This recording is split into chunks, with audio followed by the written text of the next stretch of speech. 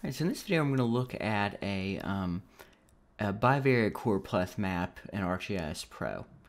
Okay, so to start off with, I want to pull in some data, and we're going to grab some data from the Living Atlas. So to do that, we go to Add Data, and instead of looking on our local machine, we're going to look in the Living Atlas. Note that you have to have a certain license uh, in order to have access to this. It's an, an Esri service.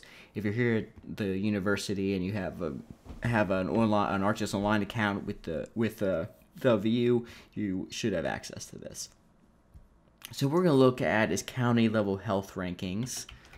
Let's do health ranking. I'm just doing a search here, and this is what we want, County Health Rankings 2019. You can see this as a feature layer um, hosted, so effectively we're going to stream in some vector data, and you can see the owner there. Um, so this is coming from Esri Demographics. And you probably should cite the source if you're going to actually use this data um, in a map. So we're at OK there, and that should stream that data layer in. Um, so if we do the stop down, you can see there's a couple different sublayers there. We're going to work with this. Um, if we open up the attribute table, you can see there's a ton of attributes. Um, and they've included like alias names, which makes it a little bit easier to read. Okay, so if we're clicked on that layer, and we should be able to go to symbology. And then uh, we want to change our type here to bivariate colors. And then we can start um, editing this. So first off, we want to pick some two different continuous measures to symbolize. So I'm going to set, um, we're going to look at, let's see here, down here at the bottom, there should be some factors in here associated with, um, so let's, let's do adult obesity and for the first field. And note we can normalize it, but we don't have to in this case because it's a percentage. It's already normalized. And then for the second field here, we'll look at,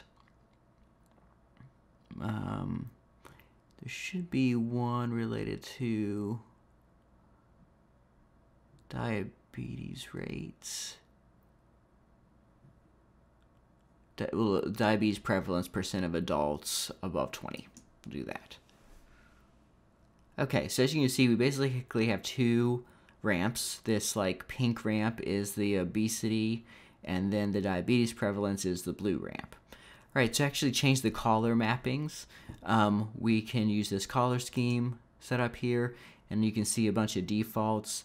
Since we have two values that are um, sequential and increasing in one direction, we'd want to use a ramp that makes sense for that. So like this would make sense, or maybe like the blues and the oranges.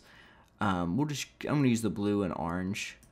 Um, again, it's good to use like complementary colors or at least colors that, that contrast well. And you know, like uh, Cynthia Brewer has some um, suggestions for that we, we went over in the lecture.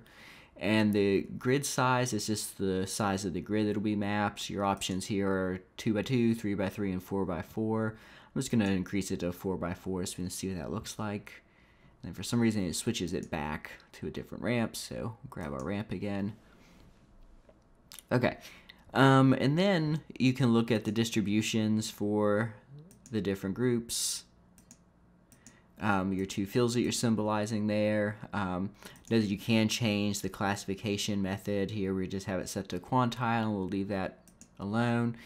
And then the legend, you can make some changes. So you could change the label here for each of the categories. Um, for the actual like grid, which shows up over here, you can change its orientation. I generally like this high values option. It makes it like a diamond shape. I just think that's easier to read. You can also change the position of the labels. By default, it's on the sides. Um, if you do label corners, it labels the corners. I actually kind of like that. So, um, and then you can actually change the labels for each corner. So, high for both.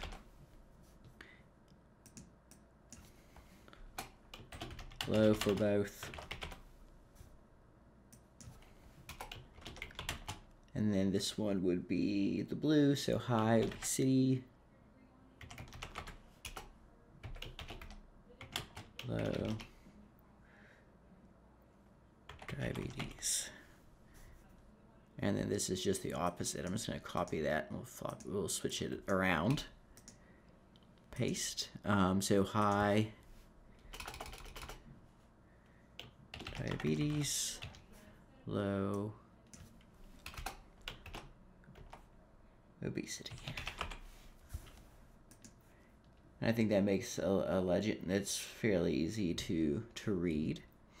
Um, so that's basically it. Let's let's just add this to a map layout real quick. So we're gonna go into um, insert, new layout. We'll grab uh, like a landscape size print or orientation. Um, and then we want to add that frame.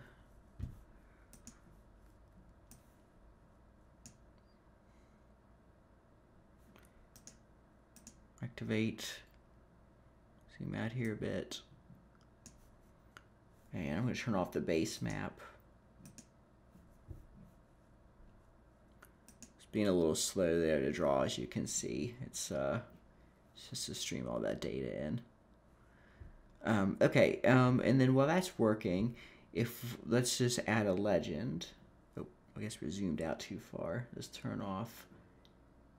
Guess we got to zoom in a little bit further to actually see the counties.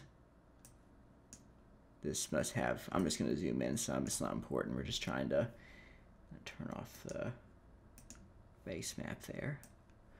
Um, so I just wanted to show you the legend. So let me do exit, and then I'm just going to do a legend, and then we'll insert a legend here, and you can see we get this um, legend that has the bivariate scheme in there. So let's just take a second and edit this. So let's say everything's good. We don't want to change anything. So we should we can convert this to a graphic. Well, first off, let's make some broader changes. So if we go into format for the legend, we could change the fonts and colors.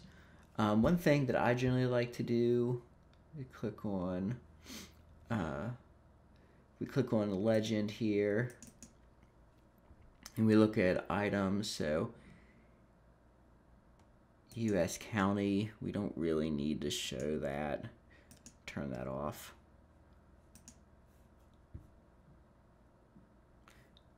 Oh, I see it's got that layer. Let's just not show that at all, so we'll do a remove. It's not updating. Um, remove that. And then for this, let's turn off the layer name. And then the rest of these aren't actually in there. So that's pretty much what we would need um, in terms of the different components. Okay, so now let's say we want to we can convert this into a graphic and then ungroup it and then we could edit these individual components, right? So for example, I'm just gonna move these over here line them up a, bit. And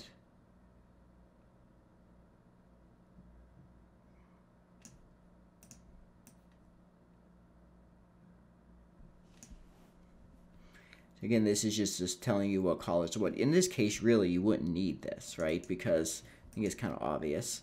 I'm going to shorten this name just for simplicity. Capitalize obesity there. Oop, must make it a little larger. Um, and then this, I'd like to maybe expand it out. Let's edit this a bit. So I'm going to drop this down to here, and I'll do the same thing with this one. And then make that bigger there. And then we'll try to position these a bit better.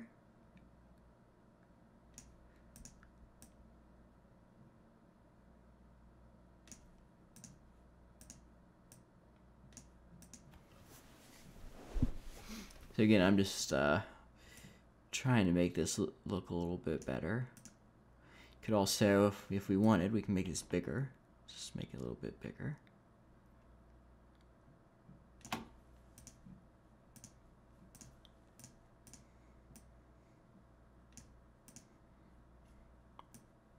Move these over for now. Move these out of the way for now.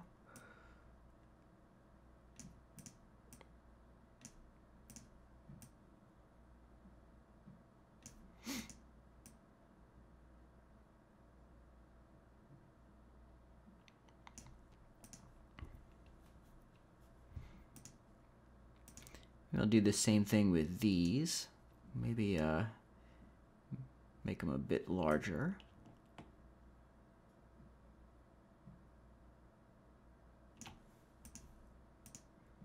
this we could try to determine what size we made the other one. What I'm going to do is just lay it over top of it and expand it until it fits.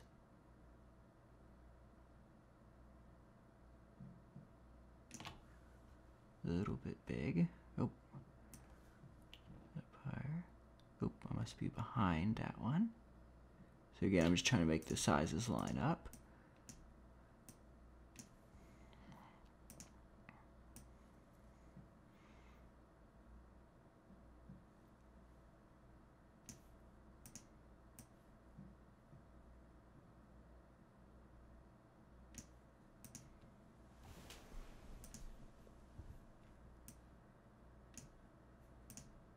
Yeah, I'm just kind of playing around with this, trying to align things the way I think makes sense.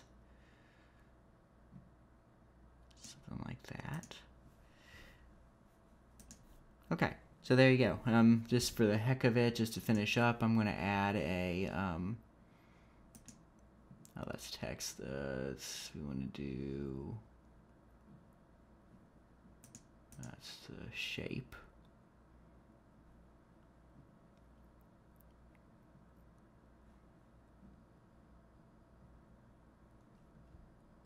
Oh, I guess it was in here. So I'm just going to add a box behind this. And then let's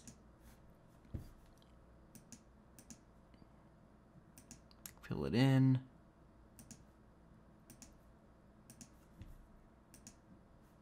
And then it's now above it, so we're going to do a uh, let's see, uh, distribute. That's not what I want to do. We want to do order. Send backward. Do this a couple times. Actually, we just do it over here. That's easier. So we'll take this rectangle and we'll move it down.